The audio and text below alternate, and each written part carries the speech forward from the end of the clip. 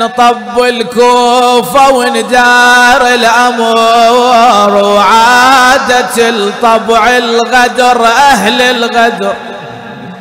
وقف مسلم حاير يدير الفكير والبلد ما جار يرحم جار يفكر بحالة وحدته ومحنتة وغربتة يا مدار طوعة جابته طلعت وعلى الباب لما شافته مبين عليه هيبته واعتباره نادته جنك ابن أصل وعرب قعدتك شنو وش عندك طلب؟ قال اريد ما جابت لو شراب وقلبه من العطش تلهب نار. قالت الماي وشربت يا نفيل قعدتك ما هي صحيحة بهالمحل. قالها أنا بهالبلد ما عندي أهل هل ويا مبعد هلي يا جار. لون شتين على قوم ومنهلي من المدينة موطن وهاشم هلي. منو أنت؟ هاشم هلي. أنا مسلم وابن حيدر علي ذلة الكفار من فقار. قالها أنا مسلم وصاحت يا هلا هلا بجيتك يا ابن أخو عقد الولا البيت طب يا راعي العز والعلا البيت لك يا حي هلا بخطار. دخل مسلم لكن ما يقدر يهيد يفكر بحالة أبو اليم الوحيد. البايع ما يدري شاريهم يزيد وخاف ضعنا تغرب من دياره دخل إلى دار طوعه قضى تلك الليلة قائما قاعدا راكعا ساجدا. قدمت له طعام شراب كانت في ضيافته بخدمته ها لكن كلما نظرت إليه مستيقظ مولانا مسلم ابن عقيل. شلون حاله بذيك الليلة؟ تسأله مولاي ما أشوفك تنام؟ والله مسلم ظل يلوج الليل كله على حسين وهلا دمعه يهل. كل ساعة وتجي طوعة تقل. يا يا مساهر ليش يا ابن شبايا. يا يا يا العايدنا يا يان قالها عمامي عمامي فراقهم زيد ونيني. بعد وشلون ترضى تنام عيني أهل كوفة الصبح لما تجيني ويا الوقت ماكو اجازك بهلا يا يا حسين أجركم الله قضى تلك الليلة قائما قاعدا راكعا ساجدا لكن وصل الخبر إلى داري وإلى قصر الإمارة. من خلال ابن هذه المرأة ذهب مسرعا. البشارة البشارة ما الخبر؟ قال أمي تجير الأعداء. أي أعداء؟ ما تقول. قال مسلم بن عقيل في دارنا. أمر اللعين فتحشدت الجموع والجنود إلى دار طوعة أحاطوا بالدار. فجاء الطوعة منادية يا مسلم لقد أحاط بك القوم. الله أكبر. قال ناوليني سيفي ودرعي. قالت انهض لفاك الجيش يا حيد يردون يولونك يا صنديد. انهض لفاك الجيش يا حيد. والله يردون يولونك يا صندي. أنا أريدك مراجل عمك تعب. يقل لها يا طاعد شجعيني.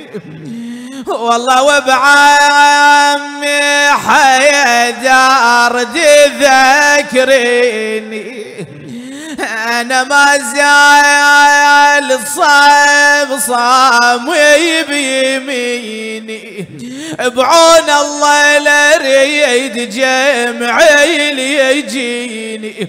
أجركم الله وبالسواد الليل ونطر الصباح. ولن من كل جانب يعل الصياح. اجت طاعة تصيح حي على الفلاح.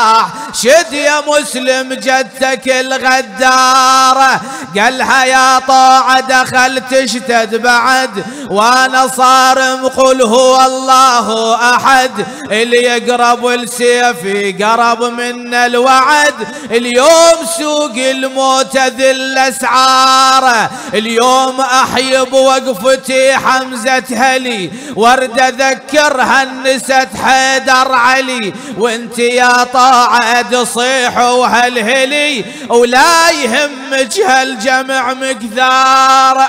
أخذ يضرب فيهم يمينا وشمالا يزعق في وجوه الرجال كأنه علي الكرار. حتى طالبوا بالمدد والعون أكثر من مرة. أجركم الله يا أهل الإيمان. هذا وهو يقاتل في دار طوعة ثم بدأ يقاتل خارج الدار. لما خرج من الدار سلمت عليه طوعة قائلة سيدي مسلم لعلي لا أراك مرة أخرى فإذا رأيت الحسين أبلغوا عني السلام وقل له هذه خادمتكم طوعة. بلغ عني السلام مولاي اذكرني عند الحسين.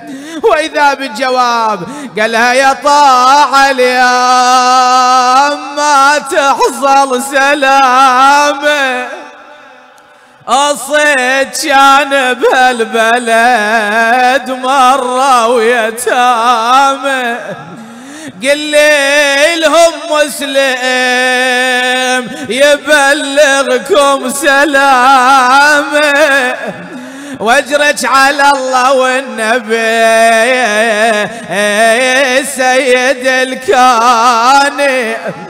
صاحت يا مسلم يا عظمها خجلتي في اش بيدي وأنا حرمة ضعيفة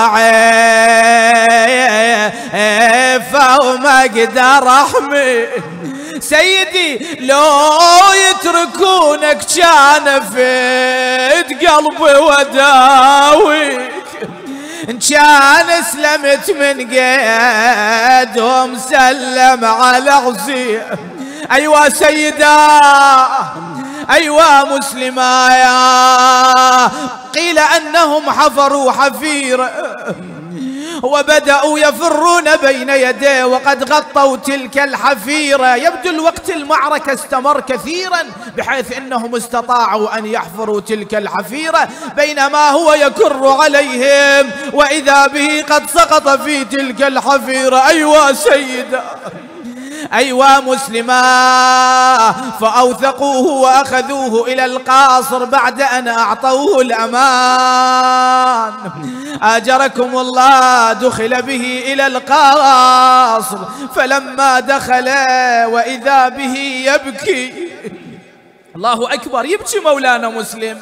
قال له لأن الذي يطلب مثل الذي تطلب لا يبكي إذا نزل به ما نزل بك. قال والله ما لنفسي بكيت. أنا أبكي لأهل المقبلين. أبكي حسينا. وآل الحسين. آجركم الله ثم أمر به أن يضرب عنقه فصعدوا به إلى أعلى القاياصر. قال مهلوني يصلي ركعتين. صلى الركعتين ثم اتجه باتجاه أبي عبد الله. قائلا السلام عليك يا أبا عبد الله. السلام عليك يا ابن رسول الله. حسين لا مني وصل ليك الخبر. بالسفر عيد النظر يا أبو علي. ولا تجيب وياك زينب بالسفر. مولاي ترى شي ترمي بنار شي ترمي بحجر. داروا علي الكفر من كل كتر. أجركم الله يا أهل الإيمان. في يوم الجمعة يوم إمامنا لك العزاء سيدي يا بقية الله. أنت المعزى بعمك بمولانا مسلم بن عقيل. أجركم الله وإذا باللعين. شاهرا سيفه مادا باعه وضرب مولانا مسلما رحم الله من نادى أيوا سيدا أيوا مسلمة أيوا غريبة أيوا مظلومة. أويلي المقداير قضى وشاعت أخبار. واللي رموه القوم من قصر الإمارة وهان انشتل بعده وخلى الدار بقى الدار خلية وما بعد واحد يصلها أما مولاتنا طوعة بقيت تنتظر إلى أن يجي الخبر ها؟ ويا من يجي الخبر؟ ذاك اليوم وقد تغيرت أحوال الكوفة لما دخلها ركب الحسين دخلوها السبايا ها؟ وضعوهم في تلك الخربة في ذلك المكان. يقول خرجت مولاتنا طوعة راحت وصلت وقفت عند تلك الخربة مولاتنا زينب قالت ما أريد وحدة تدخل علينا. قالت لا أنا تسمح لي زينب أدخل. ظهرت تلح إلى أن أدخلوها. منو هذه؟ كأنه الحوراء تقول قالت هاي منين هاي منين؟ خل تدخل علينا هاي منين؟ شدها تعود لينا. طبات سلمت قعدت حزينة ويقل لها يا حرة انت منين؟ قالت آه يا مكبر رزيتي أنا ضيفت مسلم ببيتي أنا ضيفت مسلم ببيتي عاد بنات الرسالة أخوات مسلم وبناته وكذا والنساء. أخذني سئلا هاي تسأل عن أحواله شنو صار عليه حدثينا حي مو حي ها؟ بل يطلع الخبر مو صحيح. وإذا بابنته حميد إجت طوعة احكي لي شنو اللي صار؟ شفتي أبوي؟ احكي لي أخباره. قالت احكي لي حاله احكي لي حاله. طاغة يا عم احكي لي حاله. والله من طاح يا هو التدنى قالت لها بنيتي أبوك استشهد ودفن. دفن وين قبره؟ خليني أروح أزوره. قالت تعاي وياي أنا أخذك قالت انظري إلى الحبال بيدي ما أقدر أروح أزور أبوي. تقول تقدرين أنت نيابة عني تروحين تزورينه. وتقولي له هاي الوصية. ترى إحنا إجينا وجبنا شي ويانا. يكسر قلبك. شو أقول له؟ قالت زوري وقولي جد حميدة ويا النساوي. اقعد تلقاهم يا مسلم يا ضي العين حضر قلبك للصرخة. خطار جوليك ومعاهم راس الحسين خطار جوليك ومعاهم راس الحسين. إن كنت تحزن للذكار قتيلي فاحزن لذكرى مسلم بن عقيلي. إلهي بحق بأب الحوائج. مسلم بن عقيل عجل لوليك الفرج. اللهم لا تدع لنا ذنبا إلا غفرته ولا هما إلا فرجته ولا سقما إلا شفيته ولا عيبا إلا سترته ولا حاجة من حوائج الدنيا والآخرة لك فيها رضا ولنا فيها صلاح إلا قضيتها برحمتك يا أرحم الراحمين.